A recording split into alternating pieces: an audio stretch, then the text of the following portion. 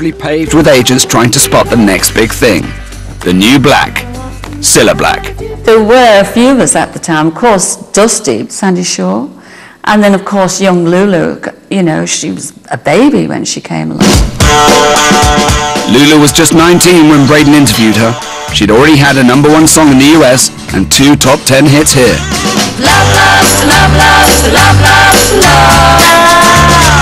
Love, love, love, love. Look back 40 years? I'm not very good at looking back.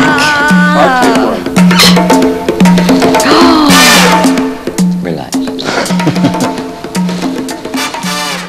now, how did the name Lulu come about? Well, that was my manager Marion's decision. it's so odd watching yourself. She sort of discovered me in Glasgow in a small club where I used to sing at the weekends when I wasn't at school. Who are you with that accent in? I was 14 at the time.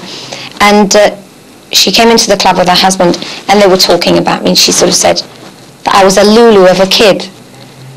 And the name just seemed to stick and uh, it's been very successful. Looking at me now, I was very deliberately very sort of middle class, which is just not me.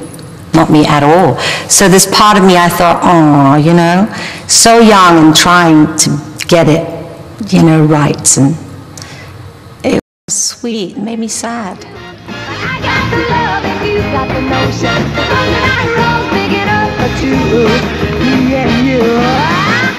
And from the night roll won't cross the ocean. In 1968, Lulu became the youngest star to host her own show on BBC One. And from the night rolls big enough for two.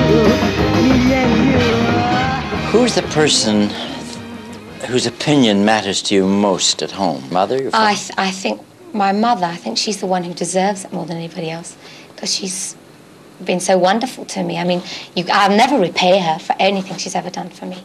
So I think if I can give her a little bit of happiness, if she really is pleased, I think that's everything. it was insane, you know, to think that I was. I came from Glasgow. I came from working, really working class family, um, and then the next minute I'm sort of have a number one record in America. I've worked with the Rolling Stones and the Beatles, and have my own television series every week.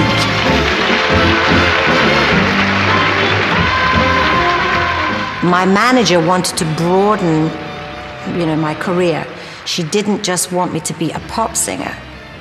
So then i would sing standards on television because i knew them from my childhood and i loved them. I'm running wild, mighty bold, feeling gay. but my heart and soul was really always in that slightly rocky slightly r&b edgy music.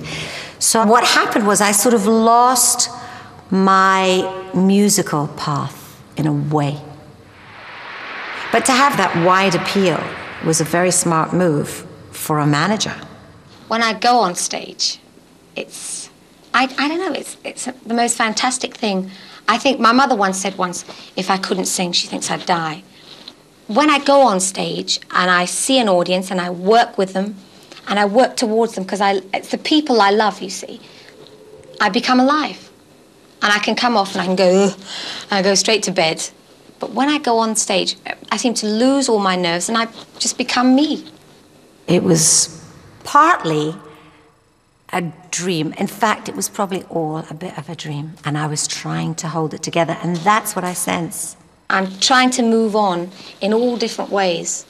And I think by the end of if I'm lucky enough to have a long career, I would like to do all different kinds of things. I wasn't going back to Glasgow, so I was holding on. I was trying to find a way to.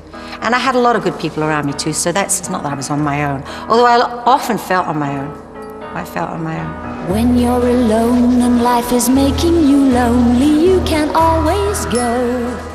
I want to get married, I want to have lots of kids, and I want to be with my husband, and I, I don't want to get divorced. And uh, I want to spend a lot of time, but at the same time, I want to have a career.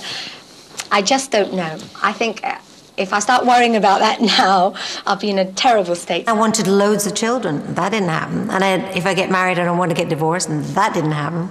I did get divorced. I got married twice. But you know, you have your ups and downs and your disappointments, and you know, all all the time. Especially in this business, I think more than any other business. If I met that young girl now, I would be so protective of her. Um, and I think probably what made me feel sad was I saw that's kind of to be so young. It's, it's a hard place to be. Hmm. Lulu was cool enough to hang around with the long-haired, snake-hipped heroes like the Rolling Stones. 60s mythology tells us they defined the era.